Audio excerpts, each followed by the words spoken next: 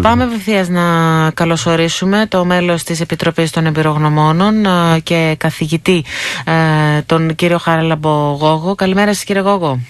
Καλημέρα σας. Γεια σας, κύριε καθηγητά. Λοιπόν, να ξεκινήσουμε από αυτό το στοιχείο. Δεν ξέρω αν ήσασταν συνδεδεμένος και ακούγατε τη συνομιλία μας. Με το πολύ υψηλό ποσοστό, το ποσοστό ρεκόρ που είχαμε χθες κρουσμάτων για Δευτέρα. Από την αρχή της πανδημίας δεν υπήρξε καμία άλλη Δευτέρα. Και επιμένουμε στη Δευτέρα, επειδή είναι πάντα και λόγω Κυριακής πολύ χαμηλά τα κρούσματα και λόγω των, ε, του μικρού αριθμού των τεστ. Πόσο σας θορύβει σε εσάς αυτό το στοιχείο; Ναι, ότι, ότι είναι ανησυχητικό δεν μπορούμε να πούμε όχι, ναι. γιατί είναι ένα νούμερο που δεν δεν είχαμε συνηθίσει το τελευταίο καιρό. Ο κυλιόμενος μέσος όρος ήταν σαφώ χαμηλότερος. Mm-hmm. Ε, και είχαμε και σχετικά χαμηλό αριθμό τέστινγκ, ας πούμε. Mm-hmm. Ήταν γύρω στα 75.000. Βέβαια, ξέρετε, Σαββατοκύριακο ο κόσμος που πάει να ελεγχθεί είναι αυτός που έχει τα περισσότερα συμπτώματα. Οπότε yeah.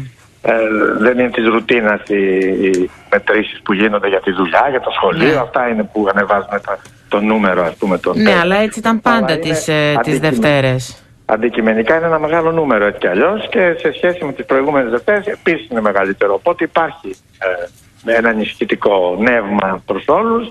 Να δούμε τι θα γίνει και αυτή τη βδομάδα. Θα το δούμε βέβαια, θα παρακολουθήσουμε σαν φαινόμενα. Πάντως φαίνεται να ανεβαίνει ξανά η πανδημία, κύριε καθηγητά. Έτσι. Δηλαδή, ναι, βρισκόμαστε ξανά μπροστά σε. Ναι, ναι είναι, είναι λογικό αυτό. Αναμενόμενο. Mm-hmm. Το θέμα είναι να μην ανέβει σε επίπεδα που είναι ε, δύσκολα. Σίγουρα θα ανέβουν. Ποια είναι τα δύσκολα επίπεδα, κύριε Γόγο, ποια θεωρείτε τα δύσκολα. είναι αυτά που, που θα αναγκάσουν το σύστημα υγείας ε, να πιεστεί και να επανέλθει σε καθεστώς το οποίο ε, εμποδίζει τη διαχείριση των non-COVID περιστατικών. Τώρα είμαστε μακριά από αυτό το ασφικτικό σημείο.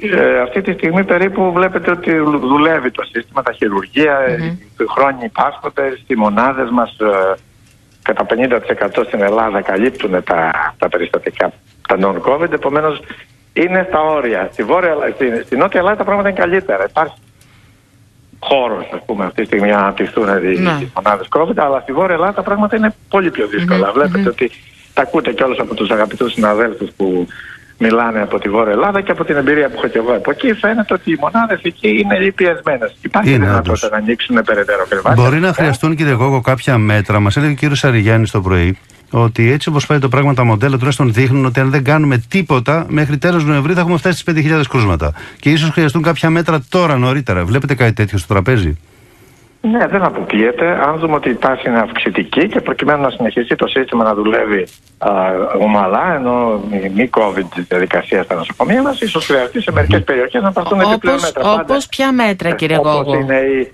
η καλύτερη γενικευμένη χρήση της μάσκας, για παράδειγμα. Μέσα και έξω. Ναι, μέσα και έξω τα περισσότερα τεστ κλπ. Αρκεί να συνεχίσει βέβαια η δραστηριότητα, η κοινωνική δραστηριότητα να παραμείνει σε ομαλά επίπεδα, τα οποία είναι αναγκαία σε αυτή τη φάση που περνάμε τώρα. Και νομίζω με τον εμβολιασμό, που είναι ο, ο επόμενος στόχος, ο στόχος δηλαδή. Τον αυξηθεί ο εμβολιασμό δηλαδή. Δεν είναι ο επόμενος, ναι, ναι, ναι. είναι ο πρώτο. Ναι, ναι, αλλά πώς θα γίνει αυτό, γιατί είναι πολύ καιρό που είμαστε κολλημένοι, κύριε Γόγου. Ναι, και ξέρω και Πώς θα ξεκολλήσουμε; Ειλικρινά, ειλικρινά δηλαδή α, με τα δεδομένα που έχουμε σε παγκόσμια κλίμακα, με, το, με, με 6,5 και και πάνω δισεκατομμύρια δόσεις που γνωρίζουμε πια και την ασφάλεια και την αποτελεσματικότητα και το γεγονός ότι όσο περισσότερο εμβολιαζόμαστε, τόσο λιγότερα κρούσματα έχουμε. Και στην Ελλάδα το βλέπουμε αυτό. Και σε χώρες της Ευρώπης το βλέπουμε αυτό.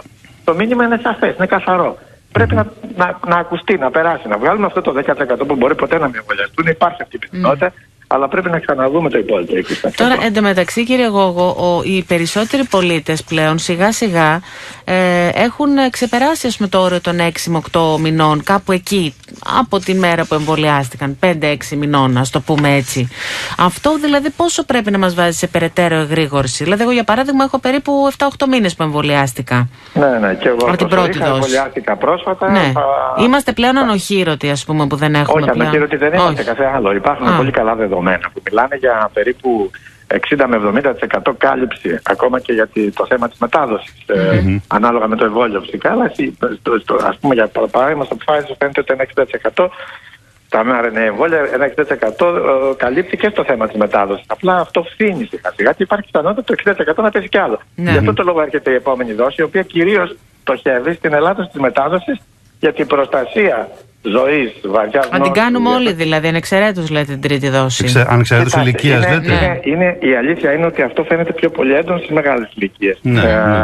Στις νεότερες ηλικίες η ανοσιακή απάντηση κρατάει περισσότερο με τα δεδομένα που έχουμε μέχρι στιγμή. Δηλαδή, πόσο καιρό μπορεί να κρατάει, και δύο χρόνια; Το θέμα της ανοσοποίησης στον, στον COVID και γενικότερα η ανοσοποίηση είναι ένα πολύπλοκο θέμα και δεν μπορούμε να είμαστε σίγουροι αν αυτό ανταποκρίνεται με, ναι. το, με τη μέτρηση των αντισωμάτων. Θα πρέπει δηλαδή να τις κάνουμε αυτές τις μετρήσεις, να πάμε να κάνουμε όλοι μας μια μέτρηση αντισωμάτων. Επειδή όχι. Σας λέω, όχι. Αυτό σας, σας λέω τώρα, ότι δεν είμαστε ε, σίγουροι ότι καλυπτόμαστε από μια μέτρηση αντισωμάτων, είτε αυτή είναι χαμηλή είτε αυτή είναι ψηλή. Γιατί mm-hmm. υπάρχουν και άλλες διατα...